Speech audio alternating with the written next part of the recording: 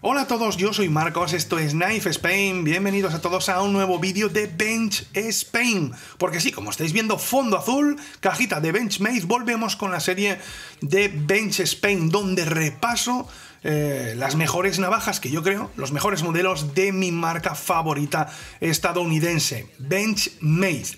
Y hoy vengo a hablaros de la última que ha llegado a mi colección. Ojo porque antes que esta llegaron dos que todavía no os he enseñado. Fui dejando pasar el tiempo, fui haciendo otras marcas y entre medias pues me llegaron dos modelos de Benchmade. Una la Mini Crocker River, que hace poquitos días subí una foto a Instagram, así que ya la habéis visto, ¿vale?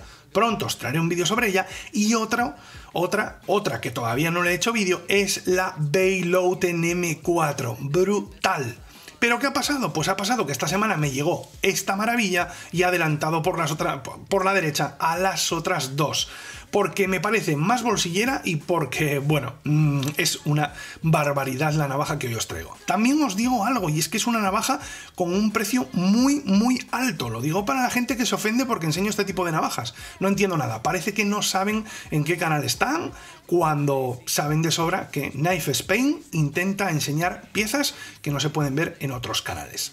Hoy aquí vengo a hablaros del modelo Mini Freak. Es la versión pequeña del modelo Freak, ¿vale? De Benchmade. Por cierto, da la casualidad que la semana pasada mi amigo Nando, de Nando Knife 78, subía la review de un auténtico piezón que recuerdo que antes de comprarlo me preguntó yo, Marcos, ¿qué te parece esta Freak? Y le dije, hazte con ella, porque yo sé que a Nando le gustan eh, las piezas grandes, ¿vale? Y sabía que entre las dos pues iba a preferir la Freak. Así que yo se la recomendé y os dejaré en la descripción del vídeo un enlace para que podáis ver su revisión del modelo Freak de la versión normal, porque esta sería la mini, de eh, la eh, serie Freak de Benchmade. Ahora sí, no me enrollo más y vamos a ver qué hay dentro de esta cajita, pero antes, como siempre, vamos con la intro.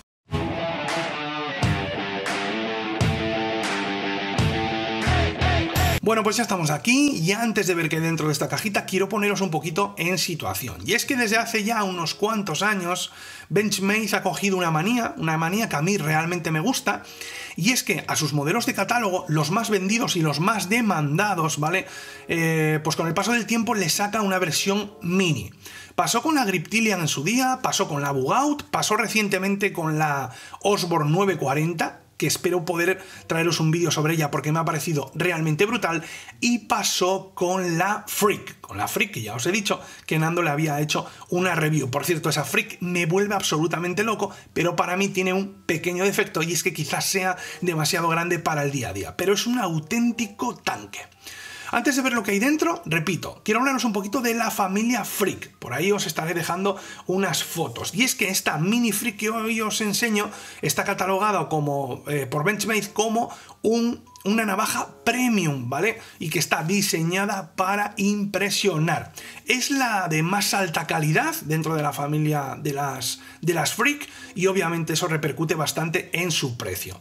Si os gusta el tamaño, si os gusta el modelo en sí, queréis una versión más barata que la que hoy os enseño, ahí estaréis viendo que existen otras mini Freak que se fabrican en acero S30V y con unas cachas en, una especie de polímero, Versaflex, quiero recordar que se llamaba, que sería como una especie como de fibra termoplástica. Si por otro lado queréis una opción más grande, ¿vale? La única, digamos así, freak que se puede conseguir ahora en el tamaño normal sería, repito, la que os ha enseñado Nando, que lleva cachas en G10 brutal, brutal, y en acero eh, CPM M4, igual que el que lleva la Bayload que próximamente os enseñaré. Así que esa sería la familia de las Freak y ahora sí vamos a ver para mí la mejor Freak de todas, eh, sin ninguna duda, vamos, sin ninguna duda.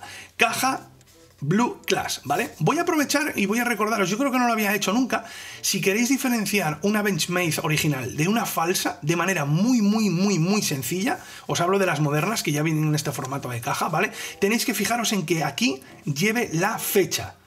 Si ahí lleva la fecha, casi 100% seguro que en la caja, o mejor, bueno, la caja es original y que posiblemente la navaja también lo sea, ¿vale? Pero la manera más sencilla, más sencilla sin ninguna duda, es que ahí lleve la fecha de fabricación, porque las falsas no lo llevan. Eso sería una pista para ya determinar un poquito si lo que habéis comprado es auténtico o no.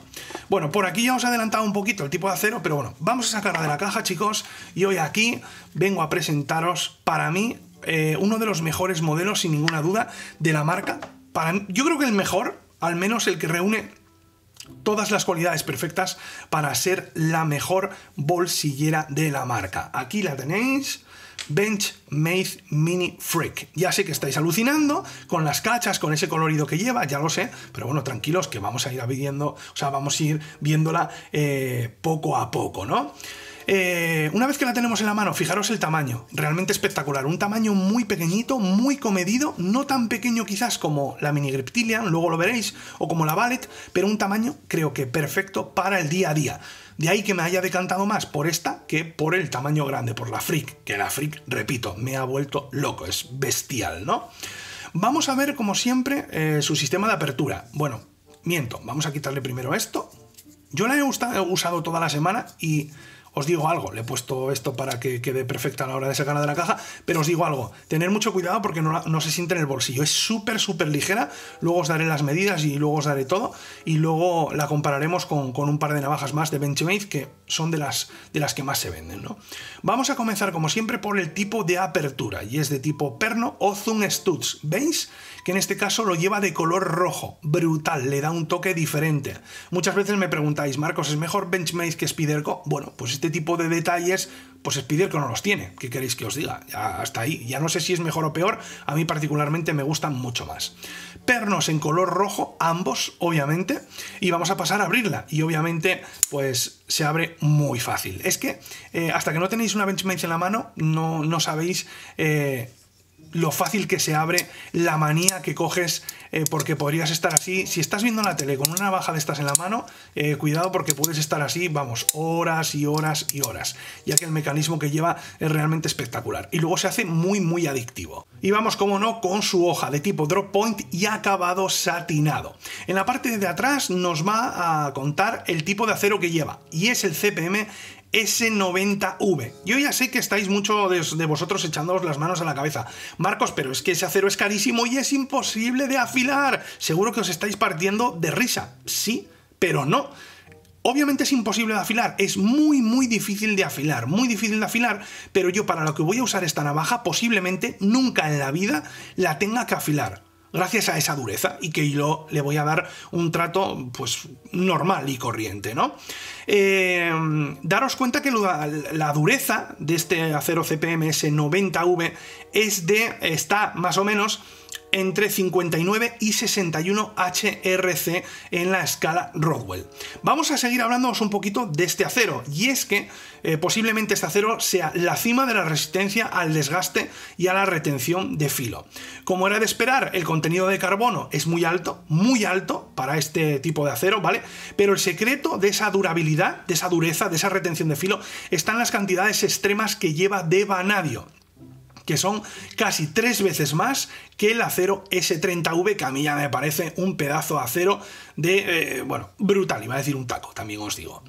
Eh, por ahí os dejaré la composición de este acero, donde llevaría un 2,3% de carbono, muchísimo carbono para este tipo de acero, un 14% de cromo, un 9% eh, de vanadio, repito, casi tres veces más que el S30V, y un 1% de molideno. Como puntos a recordar, vuelvo a repetiros, tiene una óptima resistencia al desgaste y también a la corrosión, y eso lo hace una excelente EDC. También es verdad que este acero es ridículamente caro, podemos decirlo así, y hay que tener más paciencia que un santo para poder afilarla. Y una de las cosas que más me ha gustado de esta hoja es sin ninguna duda esa cremallera que lleva en el lomo, para que podamos apoyar nuestro dedo pulgar, ¿vale? Sobre ella y que podamos trabajar o hacer bueno, trabajos más finos con nuestra hoja sin que se nos resbale el dedo. Y vamos ahora con el bloqueo. Bloqueo Axis, bloqueo patentado por la propia marca Benchmade. Es un bloqueo que me gusta muchísimo. Es un bloqueo que creo que funciona bastante bien. Mira que ya tengo unas cuantas Benchmade y nunca me ha fallado. ¿Es verdad que a veces rompen los muelles? Es verdad, es verdad, porque yo lo he visto, pero lo más normal es que no. Y obviamente, pues alguna manzana podrida tiene que salir, ¿vale? Si os pasase, no os preocupéis porque podéis enviar vuestra navaja o poneros en contacto directamente con Benchmade, que ellos os darán la solución. Es un bloqueo, repito, que a mí me gusta mucho y sobre todo pasa como el tipo de apertura. Es un bloqueo que es súper adictivo. Podríamos estar bloqueando y desbloqueando pues un montón de veces. Y si una de las características más importantes de esta Mini Freak era el acero, ese S90V, la otra, sin ninguna duda, y que yo creo que me gusta más, es, como no, o son, como no, mejor dicho, sus cachas, fabricadas en fibra de carbono, pero menuda fibra de carbono. Yo he tenido navajas en mi mano fabricadas en fibra de carbono y ninguna, ninguna me ha dado la sensación que me ha dado esta. Realmente, de verdad, es increíble. Creo que han hecho prácticamente el mango perfecto, ojo, dentro de las medidas, porque es verdad que si tienes unas manos muy grandes, pues obviamente la navaja en sí, pues te quedará pequeña. Pero, pero, pero, eh, creo que la ergonomía de estas, de estas cachas, de este mango, me parece realmente brutal. Ahora os voy a enseñar cómo quedan en mis manos. Otra cosa que me gusta muchísimo del diseño de la navaja, al igual eh, que, el perno de color rojo, ¿vale? Son esos separadores que también le han metido en color rojo. Bueno, ellos lo denominan True Red, ¿vale? Y son realmente espectaculares. Voy a acercaros un poquito. Repito, nunca he visto, nunca he tenido en mi poder una navaja en fibra de carbono que se note con tantísima calidad como esta. Es realmente espectacular. Fijaros cómo queda en la mano, ¿vale? Dentro de que ya de por sí, repito, es una navaja pequeña, ahora os voy a dar las medidas, a mí me parece que el trabajo que han hecho de diseño es realmente espectacular. Espectacular. Eso le da ligereza, le da también resistencia, como no, y fijaros cómo queda en la mano. De esta manera a mí me queda muy bien, repito, es una navaja pequeña de por sí, no digamos es que a mí no me entra en la mano, sí, es una navaja pequeña, pero dentro de que sea pequeña, creo que la han hecho realmente espectacular. Y luego lo que os había enseñado antes, ponemos el dedo aquí en el pulgar, en la cremallera, y la navaja quedaría, repito, perfecta. Me parece una de las mejores EDC que puedes portar de la marca. Muy cara, muy cara, sí, sí, muy cara, muy cara, pero es súper elegante, es súper portable, altísima calidad, una navaja que posiblemente para el día a día, para un uso normal, nunca, nunca la tengas que afilar. Así que, no sé, bueno, no sé, sí, que no os he contado algo. Y es que en la parte de atrás, como no, nos encontraremos con un clip porta bolsillos. ¿Que tenía que tener algo malo? Sí, tenía que tener algo malo. Y es que este clip porta bolsillos no me gusta. No sé por qué Benchmade sigue haciendo o sigue poniendo a sus navajas estos clips que no son profundos. ¿Veis? Si yo esta navaja me la pusiese en el pantalón, en un pantalón vaquero, todo esto sobresaldría del bolsillo. No sé por qué. Y diréis, bueno, pues porque no tienen otra opción. Sí, sí, tienen otra opción. De hecho, yo, en cuanto acabe el vídeo, voy a cambiarle el clip. Porque os voy a enseñar algo. Y es que, por ejemplo, por ejemplo, tengo aquí disponible, ¿vale? Un clip de porte profundo. Ahí lo tenéis, ¿vale? Ahí, ahí lo estáis viendo. ¿Veis la diferencia entre uno y otro? ¿Lo veis? Ahí está. Pues yo voy a cambiarle el clip. Me fastidia porque a mí me gusta tenerlo siempre eh, todo original, pero voy a cambiarle el clip y voy a ponerle este. Repito, es deporte profundo y ¿qué queréis que os diga? El hecho de que lleve la mariposa ahí, a mí me gusta más, soy así de friki, quiero que tenga la marca y todas esas cositas, ¿no?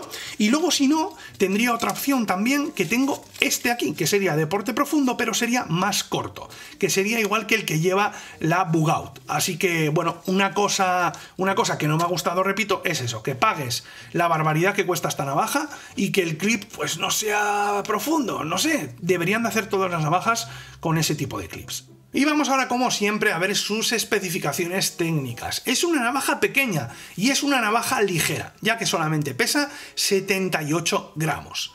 Su longitud total es de 179 milímetros, con una longitud de hoja de 76.